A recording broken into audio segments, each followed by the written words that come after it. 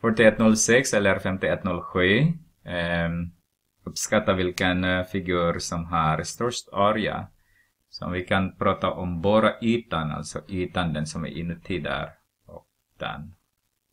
Så det måste vara den här som har störst area.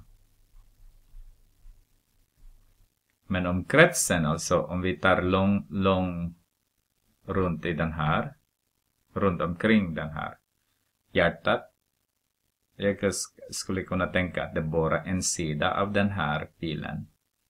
Så det ska vara den här som är störst omkrets.